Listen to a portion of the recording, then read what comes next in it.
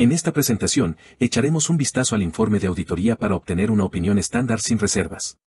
Ahora bien, la opinión estándar sin reservas es como se indica aquí, el tipo de opinión estándar, este es, con mucho, el tipo de opinión más común, esto es lo que esperaríamos dentro del informe de auditoría. ¿Por qué? Porque recordará que la gerencia básicamente está haciendo las afirmaciones de que los estados financieros que han elaborado se han hecho de acuerdo con algún conjunto de regulaciones, o algún conjunto de reglas o prácticas, como los principios de contabilidad generalmente aceptados. Y, por lo tanto, esperaríamos que, dadas las afirmaciones de la gerencia de que ese sería el caso, reunimos evidencia al respecto dentro del proceso de auditoría, y luego emitimos una opinión sobre si creemos que ese es el caso o no, esperamos que así sea, en cuyo caso daremos la opinión estándar sin reservas. Ahora bien, el lenguaje no calificado siempre me pareció un poco extraño que, ya sabes, el mejor informe que tenemos es sin reservas, lo cual no me parece un término positivo.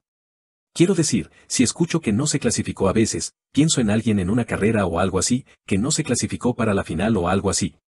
Pero aquí no calificado significa que no hay calificaciones a la opinión. En otras palabras, vamos a decir que la opinión es que los estados financieros están de acuerdo con los principios de contabilidad generalmente aceptados, y no tenemos ninguna calificación para ello. Si no hubiera reservas, eso significaría básicamente que puede haber alguna desviación de los principios de contabilidad generalmente aceptados en la forma en que se elaboraron los estados financieros. Y nosotros diéramos que hay un elemento calificado en el informe y luego daríamos ejemplos o diríamos cuál sería ese elemento calificado, habrá ocho componentes, ocho componentes típicos en los informes de auditoría estándar sin reservas, esos componentes incluyen un título, el destinatario, la sección de opinión, esto obviamente está llegando al meollo de la cuestión, el punto crítico de esto, esto es lo que estamos haciendo dentro de la auditoría, es proporcionar una opinión. Así que tenemos la sección de opinión, luego la base para la sección de opinión, por qué llegamos a nuestra opinión, la sección de asuntos críticos de auditoría, y luego el nombre de la firma de la firma de auditoría, y luego una indicación de cuánto tiempo el auditor ha servido como auditor de la empresa. Y por último, el informe de auditoría, lugar y fecha. Así que vamos a ver un ejemplo de un informe de auditoría estándar. Esto puede ser un poco tedioso a medida que avanzamos en el ejemplo porque en realidad leeremos un informe de auditoría. Y tenga en cuenta que, normalmente, no haría esto para leer párrafos de información dentro de un formato de tipo presentación, pero notará que el informe es un tipo de configuración muy estandarizado.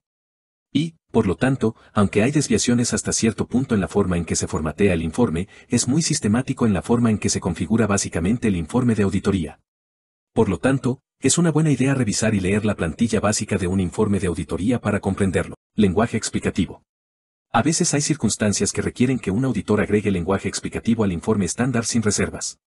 En otras palabras, es posible que tengamos un informe sin reservas y no haya calificaciones. Sin embargo, es posible que haya algunas áreas en las que queramos agregar algún tipo de lenguaje al informe estándar. Así que vamos a pensar que aquí está el informe estándar, aquí está el diseño estándar. Y luego podría haber algunas áreas, todavía estamos agregando algo al informe estándar sin reservas sin convertirlo en algún otro tipo de informe, como un tipo de informe calificado. Y luego, por supuesto, si hay calificaciones, tendríamos que cambiar el informe de no calificado a algún otro listado, como un tipo de informe calificado. Así que aquí vamos con algunos componentes del informe de auditoría estándar, los informes sin reservas. Así que informe de la firma de contadores públicos registrados independientes a los accionistas y junta directiva de la empresa. Así que fíjate a quien estamos dirigiendo esto a los accionistas en el Consejo de Administración, ese va a ser normalmente el caso de la opinión sobre los estados financieros. Hemos auditado el balance consolidado de la empresa. Por lo tanto, la empresa, cuando digo empresa, va a ser cualquier empresa a la que estemos auditando la opinión de los estados financieros. Y aquí es donde realmente entra en juego el corazón del informe. Aquí tenemos la opinión sobre los estados financieros. Así que vamos a leer esto por ejemplo, hemos auditado el balance general consolidado de la compañía, así que cada vez que digo compañía, esa va a ser la compañía que estamos auditando a la fecha. Esa va a ser la fecha de la auditoría y los estados consolidados relacionados de operaciones, capital contable y flujos de efectivo para cada uno de los tres años en el periodo terminado en esta fecha, y las notas relacionadas. Así que tenga en cuenta que podríamos hacer una auditoría. En este caso, estamos diciendo para el periodo de tiempo de tres años, por lo que obviamente vamos a declarar que realizamos una auditoría, tenemos la empresa que vamos a auditar, estamos auditando el balance general, y luego tenemos el tipo de flujo relacionado de áreas. Fíjate en lo que está pasando aquí con el balance. Eso es a partir de un momento en el tiempo. Las otras declaraciones que tenemos van a ser marcos temporales, cosas que tienen un principio y un final. Es por eso que básicamente está formateado de esta manera. Contamos con el balance general de la compañía y el estado consolidado de operaciones, capital contable y flujos de efectivo correspondientes a cada uno de los tres años del periodo finalizado. A esta fecha y las notas relacionadas, denominadas colectivamente los estados financieros. Entonces, obviamente, cuando pensamos solo en los estados financieros, van a estar compuestos por estos elementos con respecto al informe de auditoría. En nuestra opinión, los estados financieros se presentan de manera razonable en todos los aspectos significativos. Nótese el lenguaje de calificación aquí, nuestro objetivo es dar una opinión, pero luego tenemos un lenguaje de calificación y todo lo material respeta la posición financiera de la empresa a la fecha y los resultados de sus operaciones y sus flujos de efectivo para cada uno de los tres años en el periodo finalizado. Y luego tenemos la fecha en conformidad con los principios de contabilidad generalmente aceptados. Así que esta auditoría, por supuesto, estamos asumiendo, se realiza con respecto a los principios de contabilidad generalmente aceptados por los US También hemos auditado de acuerdo con los estándares de los controles internos de la empresa PCAUP sobre la información financiera a la fecha en base a los criterios críticos establecidos en el marco integrado de control interno emitido en 2013 por el Comité de Organizaciones Patrocinadoras de la Comisión TREAPAI, COS. O COSO o el informe sobre el control interno de la empresa sobre la fecha de presentación de informes financieros expresa una opinión sin reservas, por lo que es una opinión sin reservas, lo que significa que no tenemos ninguna calificación para la opinión básica establecida aquí de que los estados financieros se presentan de manera justa en todos los aspectos materiales. A continuación, tenemos la base de la opinión, estos estados financieros son responsabilidad de la gerencia de la empresa, nuestra responsabilidad es expresar una opinión sobre los estados financieros de la empresa en función de nuestra auditoría. Somos una firma de contabilidad pública registrada por la Junta de Supervisión de Contabilidad de Empresas Públicas, CAUP de los Estados Unidos y estamos obligados a ser independientes con respecto a la empresa de acuerdo con las leyes federales de valores de los Estados Unidos y las reglas y regulaciones aplicables de la Comisión de Bolsa y Valores y la CAUP. Llevamos a cabo nuestra auditoría de acuerdo con los estándares del APCAO. Esas normas requieren que planifiquemos y realicemos la auditoría para obtener una seguridad razonable.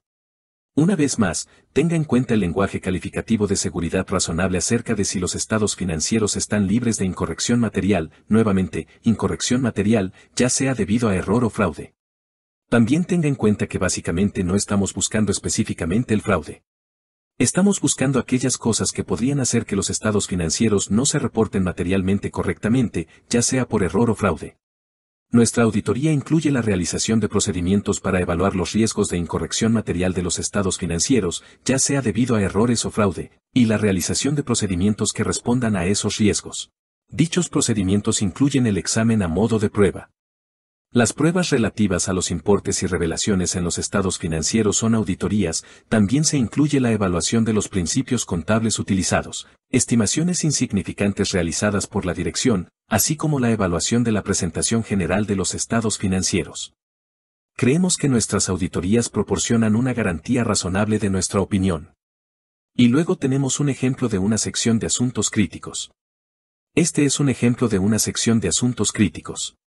El asunto crítico de auditoría que se comunica a continuación es un asunto que surge de la auditoría de los estados financieros del periodo actual que se comunicó o se requirió comunicar al comité de auditoría y que se relaciona con cuentas o revelaciones que son importantes para los estados financieros y que involucran juicios de auditor subjetivos o complejos especialmente desafiantes. Que la comunicación de los criterios de auditoría no altere en modo alguno nuestra opinión sobre los estados financieros. Así que fíjense, estamos diciendo, hey, Aquí hay un asunto crítico que vamos a llamar la atención aquí, no cambia nuestra opinión. En otras palabras, todavía tenemos un informe sin reservas que se está informando, aunque estamos declarando este asunto crítico aquí, por lo que no matizamos básicamente la opinión sobre el informe dado este asunto. Básicamente, nos estamos refiriendo a este asunto aquí, tomado como un todo, y no estamos comunicando el asunto crítico de auditoría a continuación, proporcionando opiniones separadas sobre el asunto crítico de auditoría o sobre las cuentas o divulgaciones con las que se relaciona.